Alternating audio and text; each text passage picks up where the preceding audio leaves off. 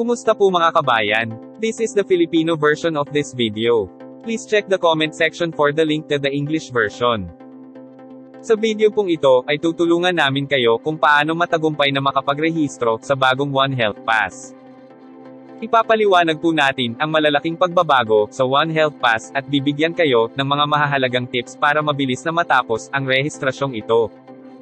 Muli pong paunawa, ang One Health Pass ay required sa lahat ng pasahero na uuwi ng Pilipinas kahit saan mang airport lalapag. Wala pong exemption sa registration na ito, maging ang mga sanggol ay required. Kahit fully vaccinated man o hindi, required po ito. Filipino man o hindi, required po ito. Ang gobyerno ng Pilipinas ay nagutos sa lahat ng airline na tanggihan o i-deny ang sinumang pasahero na walang One Health Pass QR code na sumakay sa kanilang eroplano. Kaya ito po ay mahigpit na ipinapatupad at hinahanap sa check-in pa lamang. Upang kayo po ay matulungan na maghanda para sa napakahalagang pagpaparehistrong ito, nais po namin na inyong tandaan ang tatlong bagay na ito. Ang 2P plus M. Planuhin, paghandaan, at magrehistro. Magsimula po tayo sa step 1, planuhin. Para ma-access ang tamang One Health Pass system, kailangan ninyong malaman ang mga bagay na ito. Una, ito po ay wala sa inyong App Store o Play Store. Ito po ay isang simpleng website lamang na maaari ninyong buksan gamit ang anumang mobile device o personal computer.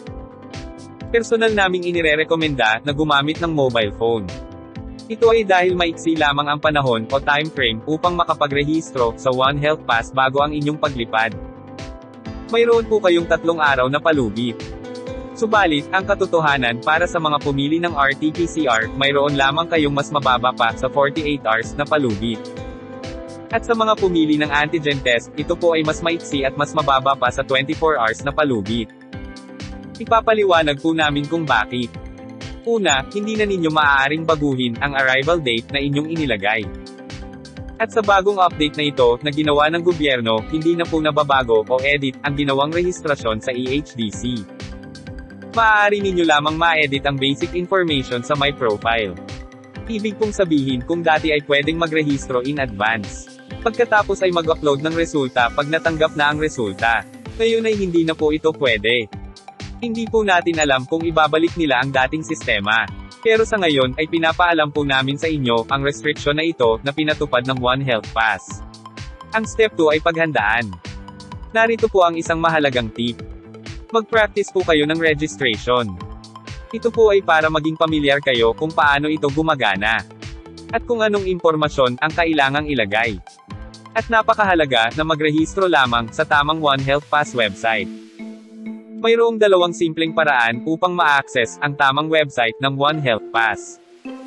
Una ay magbukas ng internet browser tulad ng Google. At i-type ang One Health Pass. Ito ang dapat ninyong i-click dapat ay nakikita ninyo ang isang maliit na logo ng Department of Health. At ang tamang website na www.onehealthpass.com.ph. Pangalawa, ay direktang pumunta sa website. Buksan ang inyong Google browser. At i-type ang website na www.onehealthpass.com.ph. I-click ang OK, at dapat ninyong makita ang user interface na ito. Kung hindi ganito ang hitsura, nasa maling website po kayo. O di kaya naman kung ito ay humihingi ng bayad, tiyak na kayo ay nasa isang peking website o iyon ay maaaring isang scam. Ang susunod na bagay na kailangan ninyong ihanda ay ang mga dokumentong ito. Kakailanganin ninyo ang inyong negatibong resulta ng test, ang inyong valid na pasaporte, at ang inyong flight details. Kailangan alam na rin po ninyo ang address kung saan kayo tutuloy sa Pilipinas, residential address man o address ng hotel. Ihanda rin ang inyong dokumento sa pagbabakuna. Dapat din pong maunawaan na ang One Health Pass ay patuloy na ina-update. Kaya asahan po ang mga pagbabago. Upang malaman po ninyo ng mabilis ang mga ganitong pagbabago, e-click ang subscribe button at notification bell. Hiling din po namin na inyong tulungan ang aming channel, na maabot ang marami pa nating kababayan, sa pamamagitan ng isang simpleng pag-click sa like button. Ang step 3 ay magrehistro. Bago tayo magsimula sa aktwal na pagpaparehistro, unawain muna natin kung ano ang One Health Pass at bakit ito kailangan. Bago ang pandemya, kung inyong matatandaan, pagdating sa Pilipinas ay binibigyan tayo ng dilaw na form na ito na tinatawag na Health Declaration Checklist o HDC.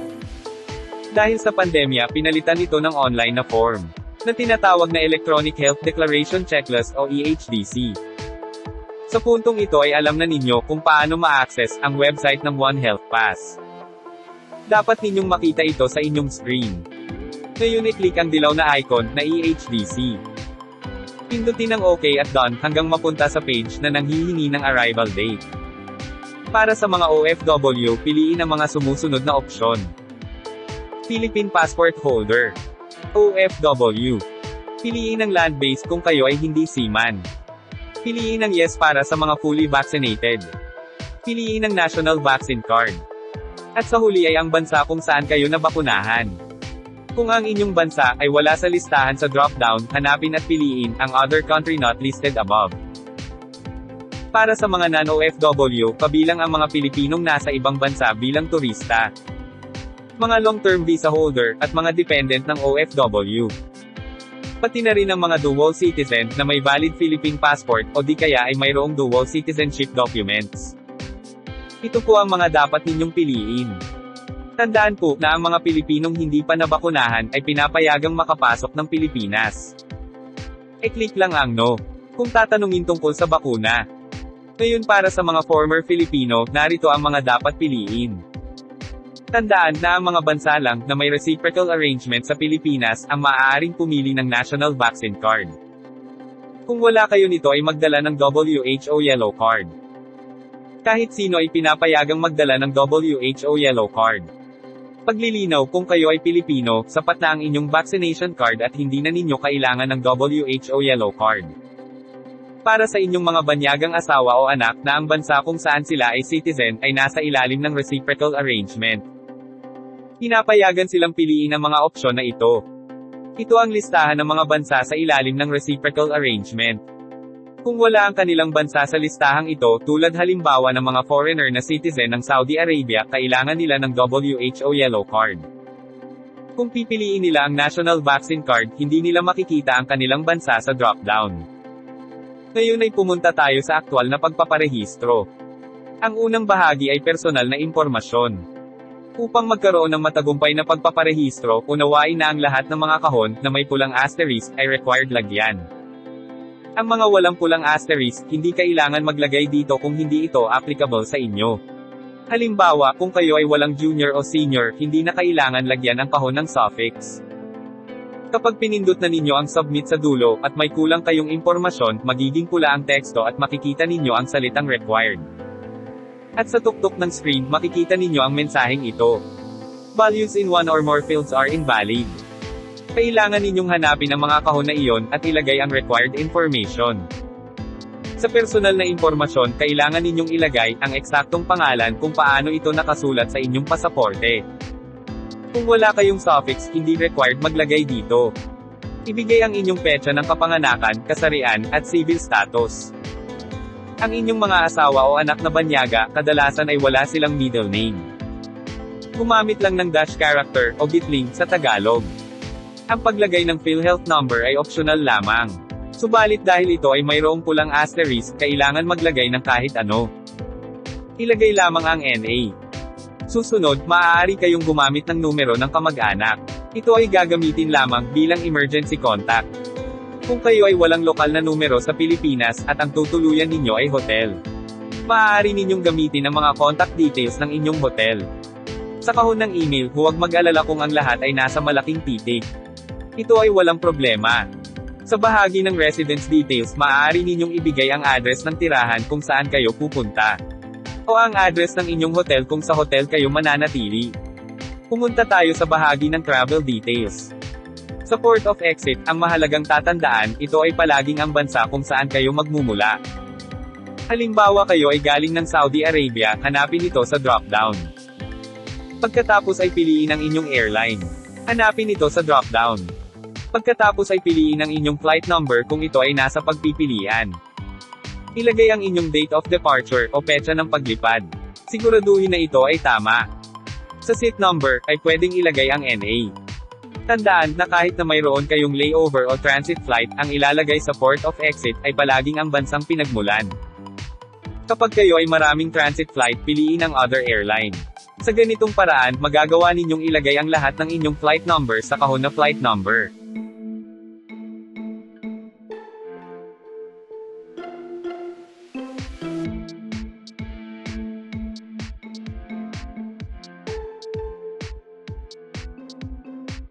Para sa mga OFW, hihilingin sa inyo na ibigay ang detalye ng inyong employer.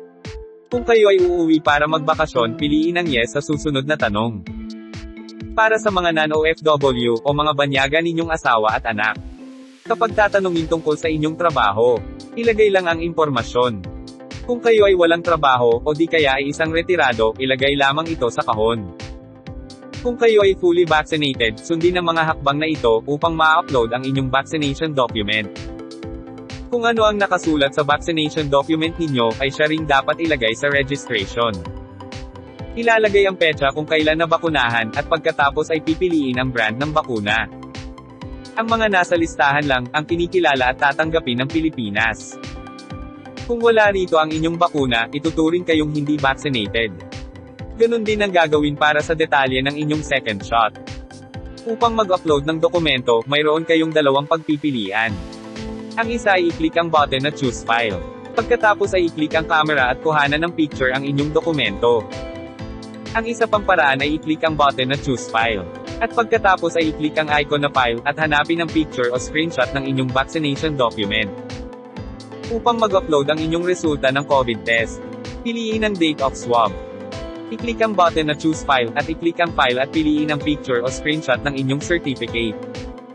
Ang susunod na bahagi ay tungkol sa testing facility pagdating ng Pilipinas. Ito ay para lang sa mga hindi vaccinated. Piliin ang inyong testing facility. Paunawa, kung kayo ay fully vaccinated, hindi ninyo ito kailangan. Subalit, unfortunately, ito ay may pulang asterisk. Pumili lang ng isa.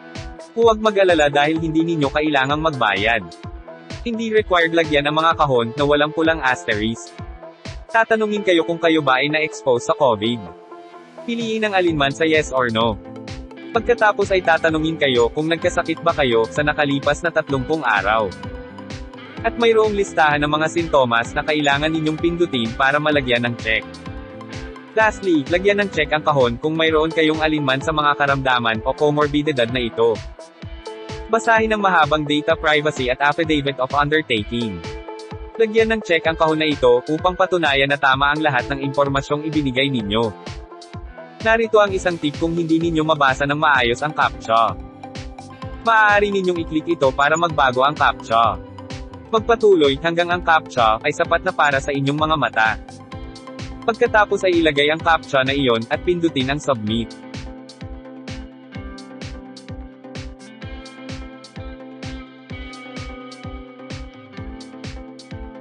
Sa huli ay magkakaroon kayo ng QR code na tulad nito. Kailangan ninyong screenshot ito. May email din na ipapadala sa inyo.